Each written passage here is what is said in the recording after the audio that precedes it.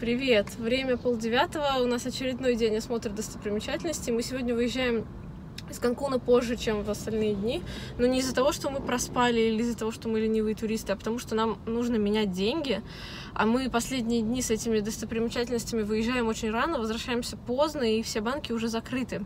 Поэтому мы сегодня специально дождались 8.30, когда открывается банк с хорошим курсом здесь недалеко от нашего отеля, и Антон сейчас ушел менять деньги. И вообще по поводу денег, э, многие говорят, что в Канкуне вообще не можно не менять доллары на песо, и долларов, в принципе, хватит. Отчасти это правда. Здесь действительно во многих местах принимают и песо, и доллары. Во многих местах можно расплатиться картой. Нельзя э, только в каких-то мелких палатках, типа с едой. Но это не очень выгодно. В тех местах, где ты платишь картой, пересчет по курсу будет не в твою пользу. В тех местах, где ты платишь долларами, тоже может быть это менее выгодно для тебя. Поэтому лучше потратить полчасика и поменять. Мы сегодня поедем в древний город Экбалам. Он находится примерно в двух с небольшим часах езды от Канкуна. Мы поедем опять по платной трассе, потому что тогда дорога будет чуть больше двух часов. Если выбирать бесплатные аналоги, это будет более трех часов. Ну, час времени с утра при поездке на достопримечательности играют важную роль, поэтому мы решили переплатить за платную трассу, но добраться поскорее. А обратно уже можно сэкономить и ехать бесплатно.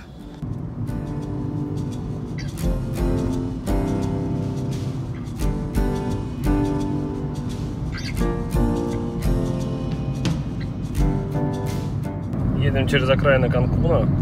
И тут такие вот жилые комплексы. Похоже на наши хрущевки, такие пятиэтажные дома. Не очень приятного вида. Все обшарпанные, некоторые даже без стекол, а забиты там фанерой.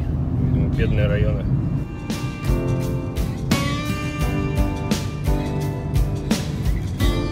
С этой стороны одноэтажные районы, одно-двухэтажные домики, тоже не очень богатые.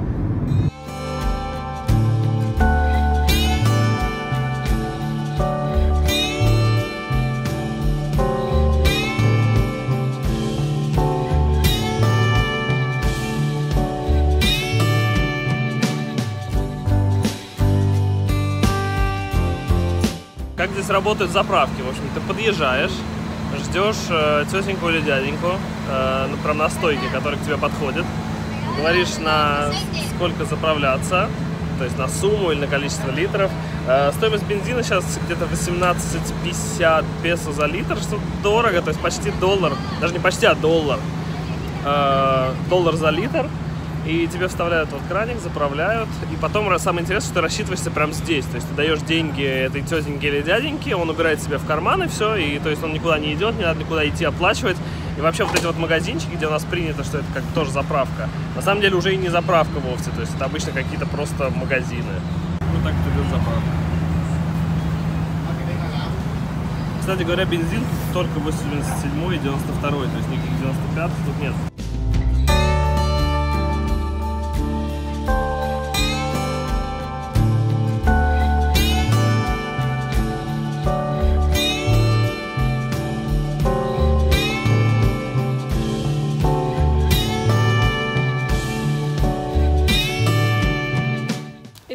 Доехали до древнего города Эльбалам.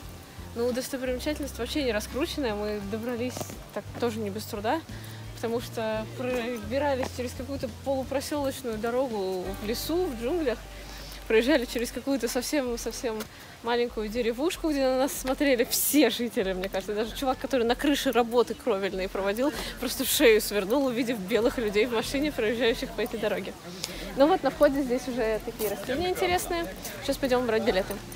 Парковка здесь, в принципе, бесплатная, но тебе очень навязчиво парковщики говорят, что они работают за чаевые, поэтому приходится давать им чаевые. Ставили им 10 песо. Мы уже на территории комплекса. Билеты стоили 216 песо на человека. Тут же рядом есть Синод, но в Синод отдельно билеты надо покупать. И мы, наверное, решили туда не идти, потому что до него еще нужно добираться. Там что-то пешком 2, кил 2 километра или брать велосипед в аренду. Может быть, мы в какой-то другой Синод съездим сегодня, посмотрим. Ну а по поводу комплекса, тут сейчас будут опять древние строения. На территории было раскопано 45 древних строений майя. До сих пор ведутся раскопки. Комплекс довольно большой. И, как и многие другие города майя, его расцвет был в восьмом веке, хотя основан он еще в третьем веке до нашей эры. И незадолго, незадолго до прихода испанских конкистадоров все индейцы снялись с места, покинули город. И что интересно, они, уходя, как будто бы решили сохранить его для чего-то в будущем и не просто оставили свои дома в джунглях, чтобы их поглотил лес, а засыпали песком и камнями, и благодаря этому все, что удалось сейчас найти, находится в довольно неплохом состоянии. Кстати, сам этот комплекс вообще довольно новый. Его, в принципе, нашли только в 1886 году. Французский путешественник. А раскопки здесь начали вести в 1980-х, а для посетителей открыли в начале 2000-х. Вот это, кстати, городские стены. Смотрите, какие они низкие. То есть майя это устраивало. То есть они не строили высокие, они строили широкие стены. По свидетельствам историков, высота была примерно полтора метра всего, а ширина три метра. Да. Так что древние индейцы были невысокие, но, видимо, очень толстенькие. Да, чтобы не пробили. А это, кстати, арка, это главный вход в город.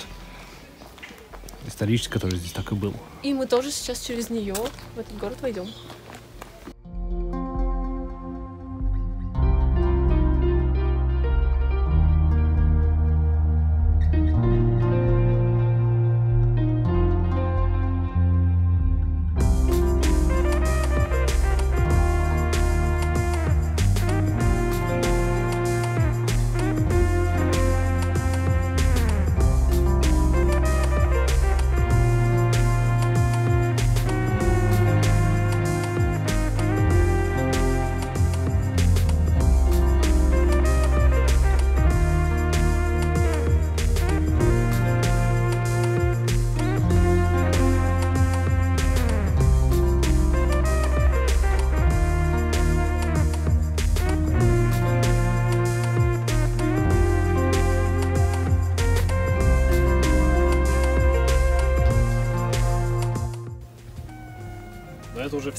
Знакомое поле для игры в мяч.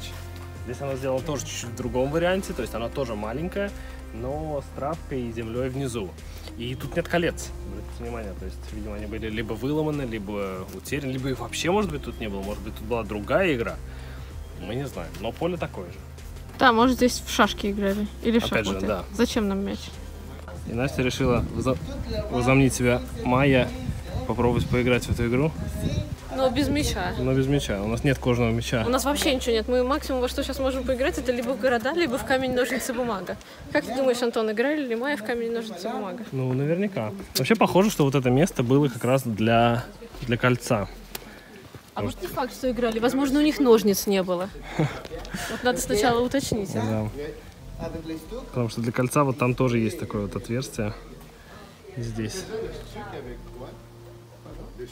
Вот сразу заметный плюс это то, что все достопримечательности не огорожены. То есть можно потрогать любую конструкцию, любое строение, старые древние камни. И вот все осталось в таком хорошем качестве благодаря как раз тому, что они все засыпали землей майя перед уходом. Иначе, как все остальные пирамиды, все было бы поглощено лесом.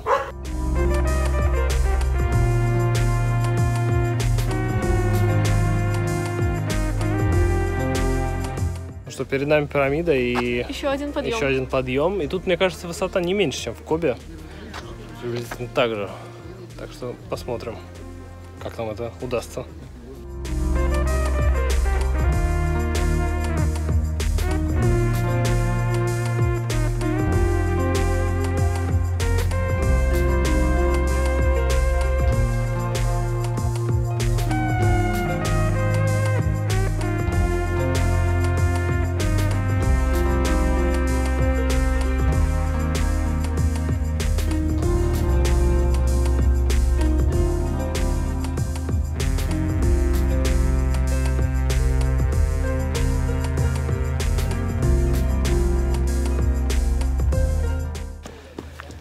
Подъем такой монотонный. Монотонно шагаешь.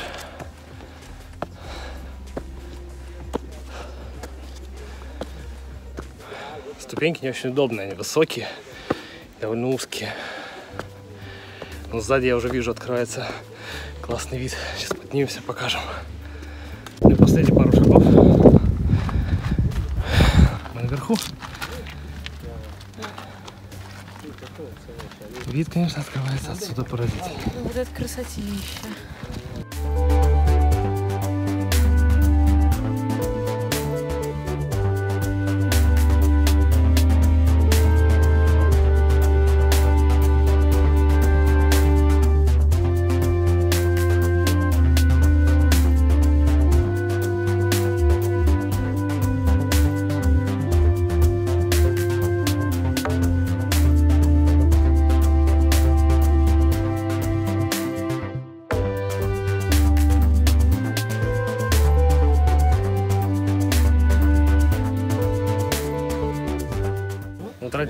Вида и вообще вот возможности подняться на такую пирамиду большую, это классное место для посещения.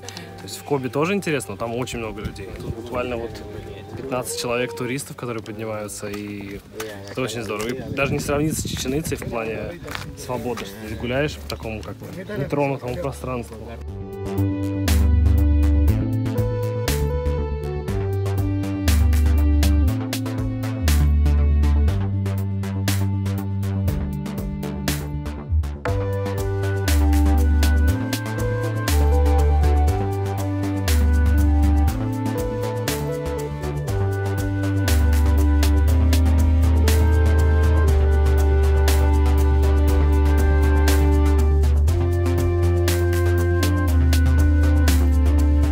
Кстати, для не очень подготовленных туристов нет каких-то вот тросиков, за что держаться.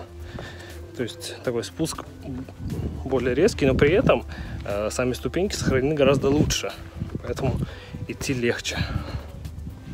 Не, ну ножки тренировать, это, конечно, дело хорошее, но надо тренировочки-то по дням недели разносить, а то два дня подряд на ноги. Кто ж так делает-то, а? Вообще, кстати, Экбалам переводится как черный ягуар, и этот комплекс был основан как раз каким-то черным ягуаром. Ну, скорее всего, это был вождь с такой кличкой, но некоторые историки предполагают, что, может быть, это действительно черный ягуар принял человеческое обличие. И один из входов в пирамиду имеет вид такой разверзнутой пасти ягуара. Мы сейчас ее посмотрим. И вот эта дверь в виде пасти. Смотрите, какие зубы. А интересно, зубы мудрости здесь есть или их уже удалили? А наболевшим. Thank you.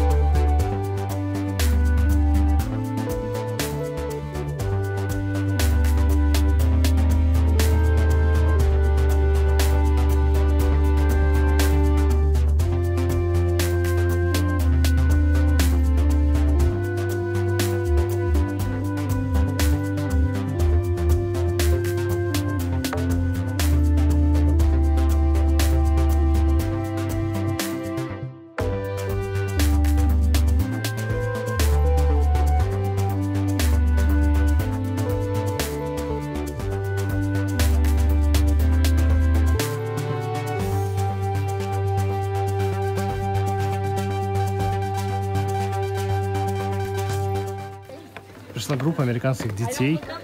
Кричат, орут что-то. Такие смешные что там. Такие забавные, да. На них еще руководитель орет. Типа не бегайте, не лазите там. То есть лазите, но осторожно. Ну и какие впечатления от посещения пирамиды? Хорошо. Где можно полазить, там всегда, почти всегда хорошо. Особенно вдвойне хорошо, когда немного народу. И вид оттуда обалденный.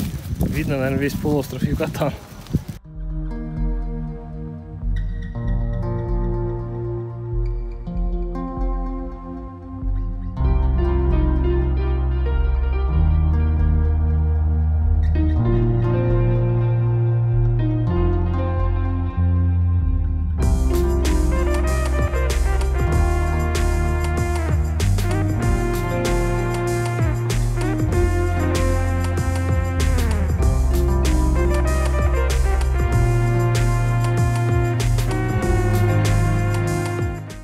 Стороне от основной достопримечательности, где-то в лесу, такая вот платформа круглая. И никаких подписей. Ни подписи, ничего.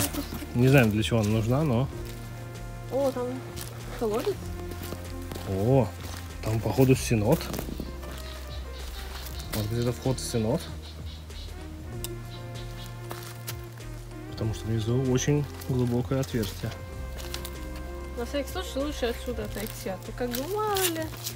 Сколько эта структура тут простояла, непонятно. Сколько простоит, тоже непонятно. А у нас страховка утопания в сеноте не покрывает. Вот мы сейчас зашли с зад- с задней стороны пирамиды, вот она у за спиной, вот холл. И это, наверное, специально так оставили, показать, как это все было накрыто, когда майя засыпали все землей. На самом деле очень сложно было бы, мне кажется, ее найти, потому что непонятно, то ли это просто куча, то ли это какой-то холм. И молодцы археологи, которые смогли все это обнаружить.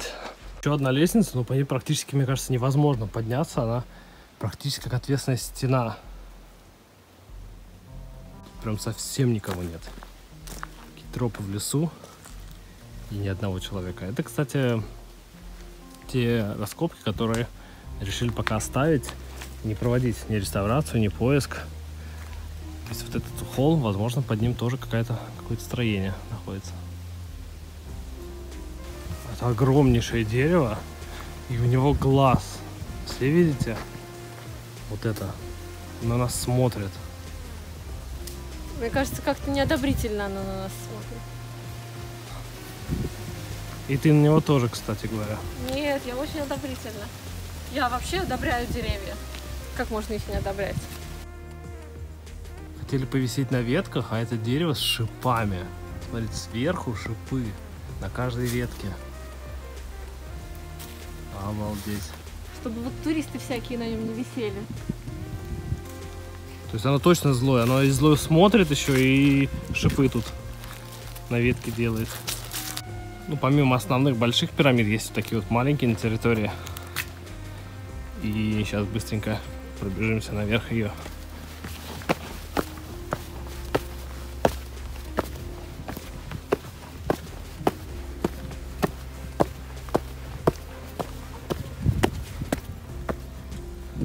И попадаем на крышу пирамиды. Тут травка, как будто и не крыша вовсе.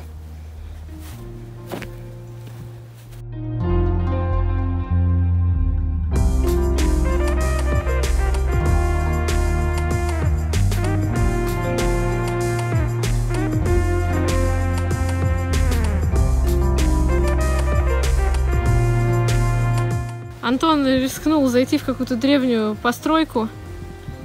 Так что давайте угадаем в комментариях, вернется он оттуда или нет.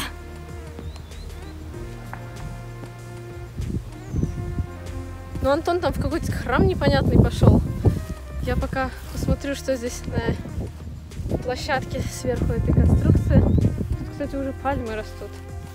На здании пальмы. Вот они. Стена довольно крутая, никакого ограждения тебе, ничего. И игуана, о май гад, надо срочно перевести камеру. Вот как удачно я подошла к другой стороне здания, пока Антон ушел беседовать в храм с богами.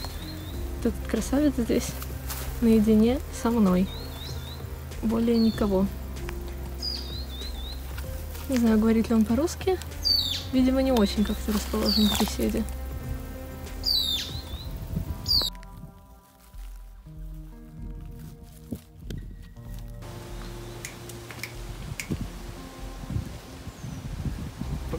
Богами. Боги сказали, что я должен быть правителем этой территории. Может, президентом России тебе боги сказали быть? Нет, нет. А то у нас там есть уже один такой.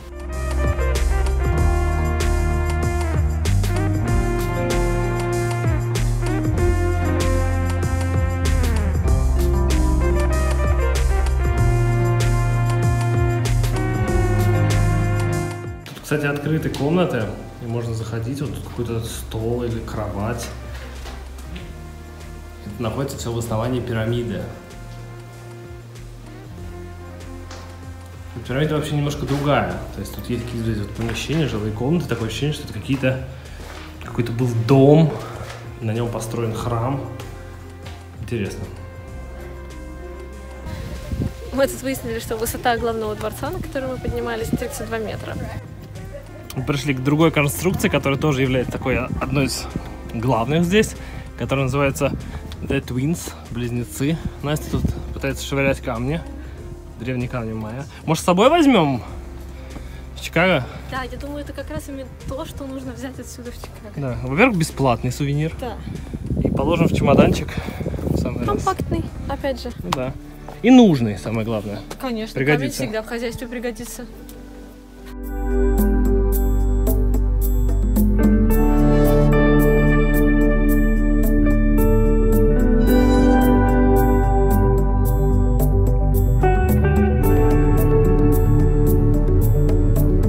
Кстати, по краю пирамиды можно пройти. Вот.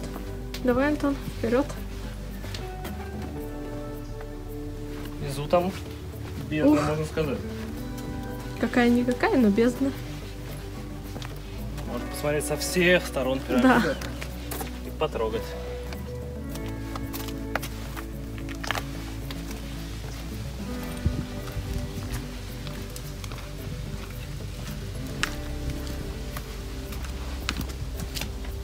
Ну хватит прятаться, выходи. А вот и, кстати, арка, через которую мы входили в этот город, в этот комплекс. Странные штуки вот такие на углах. Похожи на те отверстия, кольца на поле для игры в мяч, но маленькие.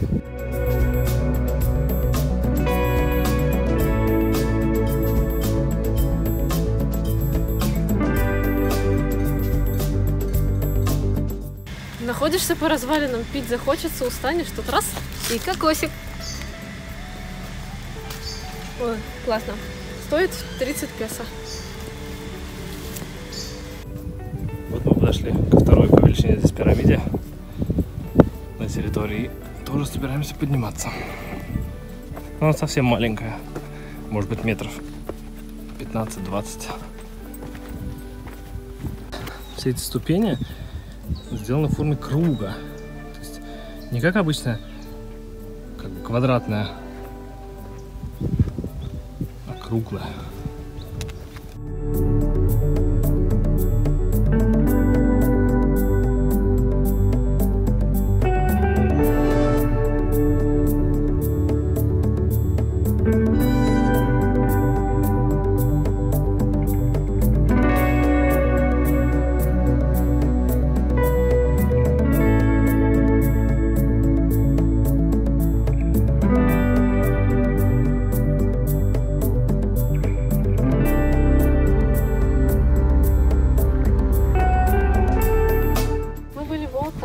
Верхушечке. А сейчас вот здесь. Стелла с изображением правителей и червяком, А, на ней огромный червяк, такой жирный жирный. который ползет вверх.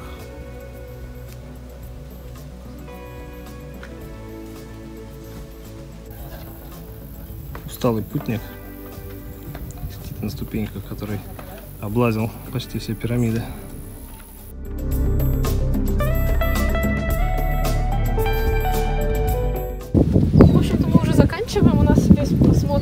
Зоны занял примерно 2 часа.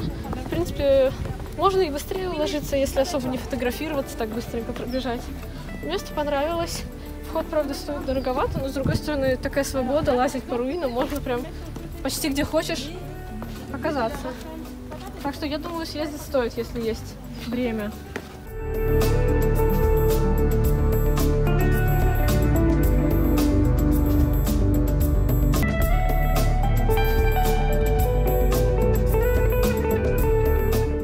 Кто-то уже притомился. Надо заканчивать видео срочно. Да, надо заканчивать. Мы поедем куда-нибудь еще. Ставьте лайки, спасибо, что смотрели это видео. Подписывайтесь на канал, если еще нет. Пока.